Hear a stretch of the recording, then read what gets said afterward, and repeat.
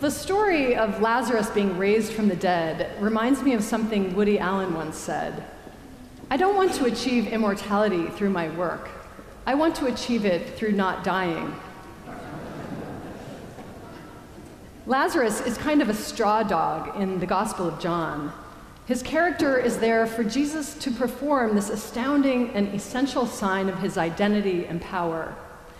But we don't hear a word about how this experience impacted Lazarus' second shot at life. There's no ancient equivalent of an Oprah special or an Anderson Cooper interview to tell us what became of him after his passage through death, four days in the grave, and back into life. But that's not the point. This is a story about Jesus and resurrection. It's a story of Jesus redefining resurrection as something different than the standard theological teaching of his day which his friends Mary and Martha and many of their contemporaries readily believed namely, that resurrection would happen in a future time.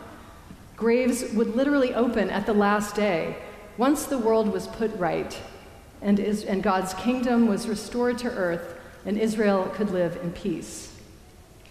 Not all Jews believed this, but it was a prominent line of thinking in the Hebrew tradition.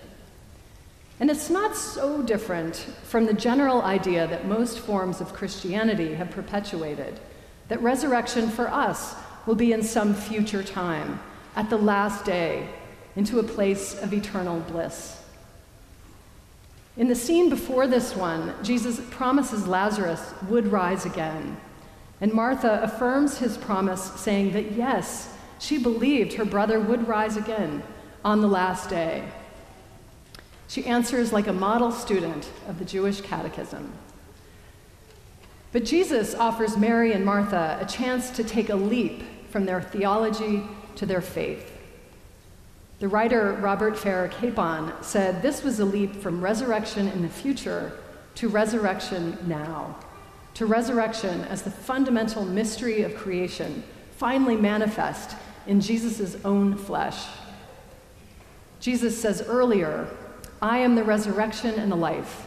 He who believes in me, though he die, yet shall he live. Capon again says Jesus never meets a corpse that doesn't sit up right on the spot. In Luke, there's the widow of Nain's son, and Jairus' daughter, and now Lazarus. And they rise not because Jesus works some magic on them, but simply because he has that effect on the dead. They rise because he is the resurrection, even before he himself rises. Because, in other words, he is the grand sacrament, the real presence of a mystery of a kingdom in which everybody rises.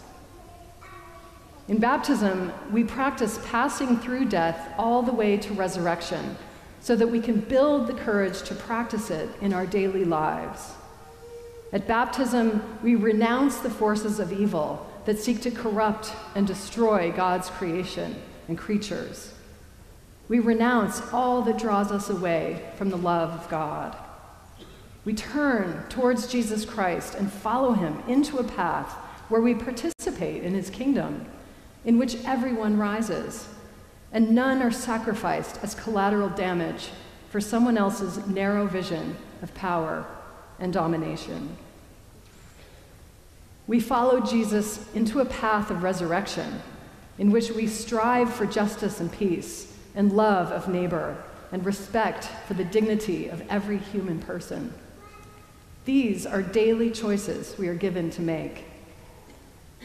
We find it easier to imagine a world in which justice prevails, all have enough, and nations live at peace with one another, as a world in a future beyond our lifetimes the way Martha and Mary thought of resurrection. But in baptism, we are challenged to take our own leap from theology to faith and participate in the here and now in God's kingdom where everybody rises. This is the life of a baptized Christian. We are citizens of the kingdom of God that is present and active and urgent, especially amidst the violence and injustices of our time. Jesus is the resurrection and the life in us, when we take stands for the resurrection of the world, of the creation, the resurrection of our nation, the resurrection of our own friends and families and communities. Resurrection is not only something that happens to us, but also a verb we participate in when we draw upon the love and power of God, who raised Jesus from the dead, who raised Lazarus from the dead, and who raises us right here and now from our own dead places that need a tombstone rolled away. In our culture, we spend a lot of time trying to achieve immortality through not dying. From potions and pills and foods and exercises that would keep us young and forestall death, to artificial intelligence that offers whiz bang promises that one day we might cure aging itself. And it offers us full access to knowledge in every field. We mistake eternal life for the achievement of not dying. Though we strive to live forever, we struggle to truly live. For all our human progress, we are sorely lacking in, humanit- in humanitarian progress. Artificial intelligence might extend our lives and make us more productive and intelligent. But so far, enlightenment is a flesh and blood, heart and will project for the spiritual life of individual humans. I have a friend and fellow priest named Mary Haddad who quipped, There is no such thing as artificial enlightenment. When we give the newly baptized, which we will shortly, when we give them a candle after their water baptism, we say to them, Receive the light of Christ. May your light so shine before others that they see your good works and give glory to your Father in heaven. The light of Christ is the source of our enlightenment our inner transformation. The light of Christ is the source of our good works. It's the clarity that illuminates our daily path as we follow the way of Jesus. No amount of AI and no medical breakthrough, no election, and certainly no politician can save us from the need to do our own inner work of becoming more enlightened, more like Jesus. Take this year's presidential election campaign, in which the last day to vote, mercifully, is finally upon us on Tuesday. And with an election as close as this one is, where it really could go either way, we can bet on the fact that just about every other person around you, as many as one out of every two people, even here in these pews today, disagrees with you our work is not to root out our opponents and expel them from our lives. It is not to regard one another with suspicion. Our work is to embrace one another in all of our shared humanity and complexities, to listen to one another, to presume each other's good intentions and desire for truth, even when we feel incredulous. Our work is to love one another into friendship in which we each navigate life's challenges together. If love is our aim, eventually our paths will move in the same direction. Our work is to roll the stone away from the tombs of condemnation and cancellation we so easily bury each other in. Our work is to unbind one another from our tribal categories and labels and let each other go in love.